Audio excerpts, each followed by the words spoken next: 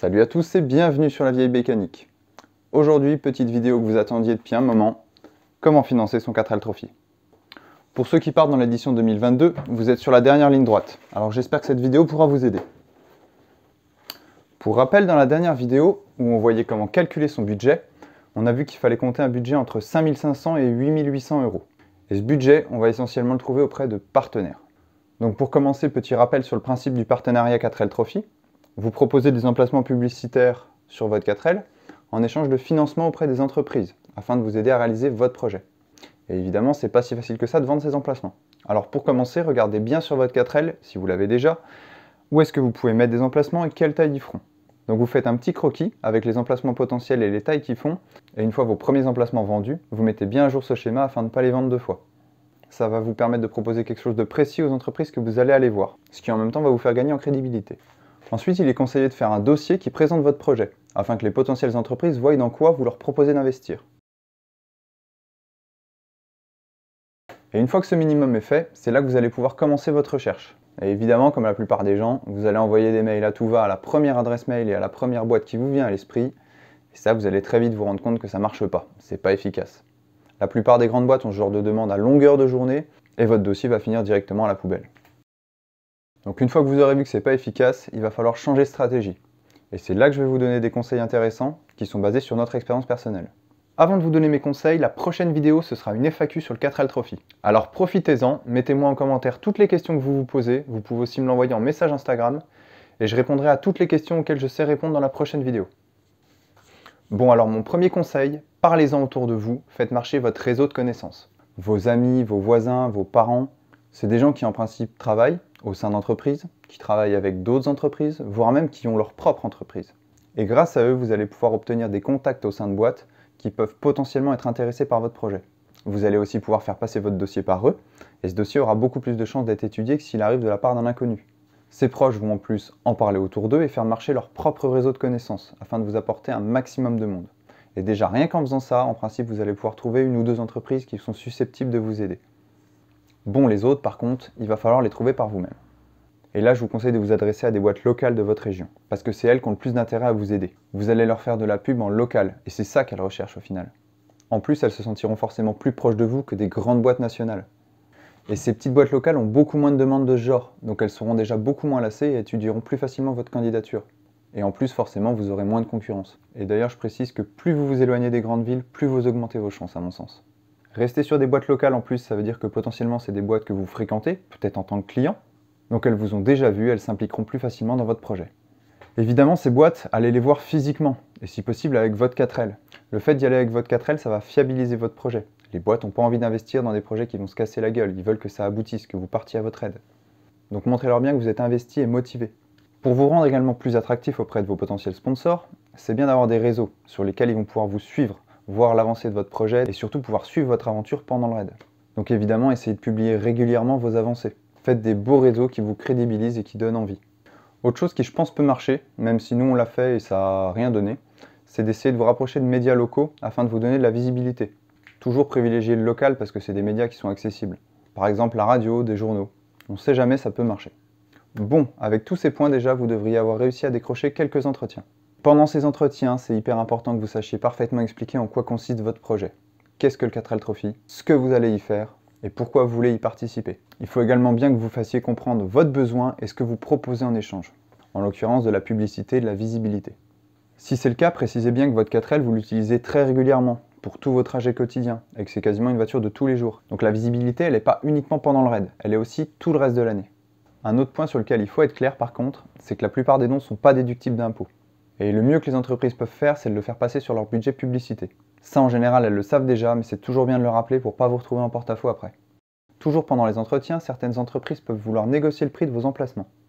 Et à ce moment-là, rappelez-vous bien qu'il vaut mieux vendre un emplacement moins cher que de ne pas le vendre. Et vous vous rendrez très vite compte que de toute façon, c'est très dur de vendre tous les emplacements.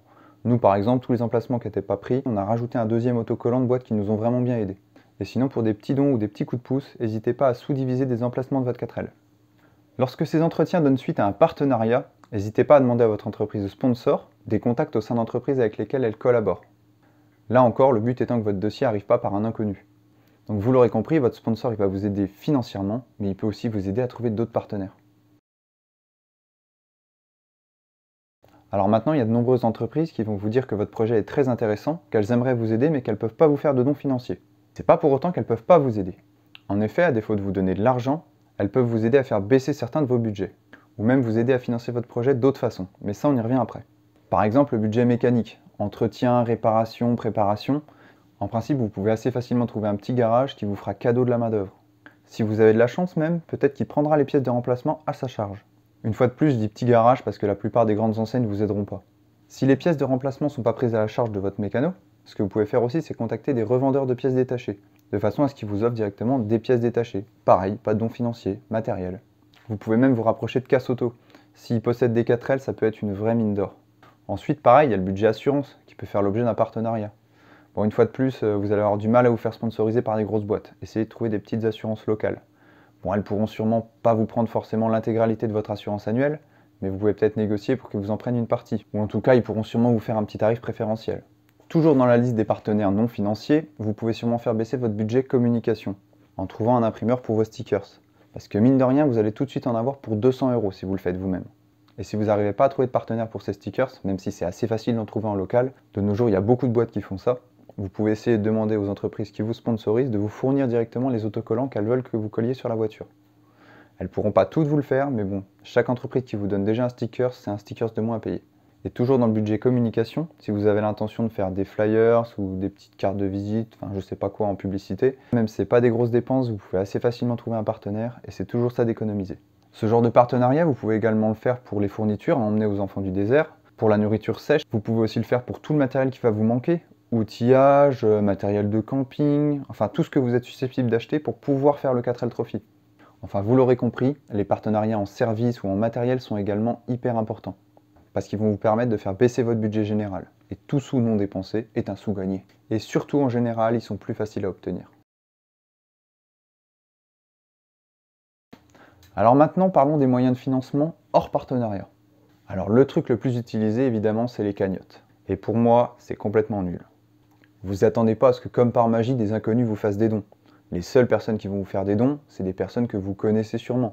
Des personnes qui sont susceptibles de vous faire un don, même hors cagnotte. Alors, à part payer des frais de cagnotte, je vois pas l'intérêt. Allez, tant qu'on est dans les mauvaises idées, il y en a une autre que je trouve pas terrible. C'est le pack financement. Quand vous vous inscrivez au 4L Trophy, le 4L Trophy vous propose des packs financement, autrement dit des goodies, que vous êtes censé revendre après pour vous faire de l'argent. Alors le problème de ce pack financement, c'est que déjà il est payant, et franchement il n'est pas donné. Donc avant même de gagner le moindre sou, il faut que vous en dépensiez. Et puis il va déjà falloir vendre un sacré paquet de goodies avant de retrouver votre mise de départ. Donc si cette méthode vous intéresse, je vous conseille de plutôt trouver un partenaire qui va pouvoir vous fournir des goodies, floquer 4L Trophy ou euh, le nom de votre équipage, enfin ça c'est ce que vous voulez. On en trouve assez facilement, hein, qui personnalise des mugs, des t-shirts, euh, des stylos. Et ça, il va pouvoir vous le faire gratuitement. Et là, le gros avantage, c'est que chaque goodies vendu, bah, c'est du pur bénéfice. Et encore une fois, c'est un don qui n'est pas financier. Et pourtant, il va bien vous aider. Sinon, vous pouvez aussi vendre des tickets de tombola. Nous, on l'a fait et ça a vraiment bien marché. Et pour les lots, de la même façon, il faut faire appel à des partenaires non financiers.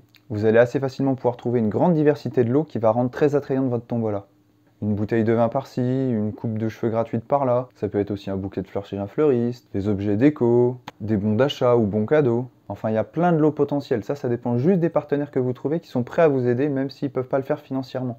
Et là encore, chaque billet vendu, c'est 100% de bénéfice. Bon, alors maintenant, la question, c'est ces goodies ou ces billets de tombola, où est-ce que vous allez pouvoir les vendre? Eh bien, il y a dans les centres commerciaux, dans les vides-greniers, les marchés de Noël ou n'importe quel autre événement festif. Et là, cette fois, il va falloir vous vendre auprès de l'organisation ou le propriétaire. Enfin, la personne qui va vous permettre d'avoir un stand à cet endroit. Sachant qu'en argument, bon, bah, vous pouvez dire que ça va attirer du monde, que vous allez venir avec la 4L, euh, que ça fait de la visibilité, que ça fait un peu de vie, etc. Donc ça, vous vous démerdez, vous trouvez bien ce que vous voulez comme argument. Sachant qu'évidemment, ce qui marche le mieux, bah, c'est les week-ends, hein, c'est là qu'il y a le plus de monde. Euh, l'autre chose qui est bien, c'est de changer d'endroit régulièrement. Si vous êtes tout le temps au même endroit, vous allez recroiser les mêmes personnes et elles ne sont pas susceptibles de vous prendre 5 euh, fois de suite des billets de tombola ou des goodies. Et au cours de ces événements, essayez d'avoir votre 4L avec vous. Ça vous fait de la visibilité, de la crédibilité et ça peut potentiellement vous faire trouver des personnes qui vont vous trouver des sponsors. Parce que oui, il y a la partie vente de tombola ou de goodies, mais il y a aussi les personnes que vous rencontrez qui peuvent vous apporter quelque chose pour le raid. Alors évidemment, c'est quelque chose qui demande de l'investissement, hein. ça va vous bouffer de nombreuses journées.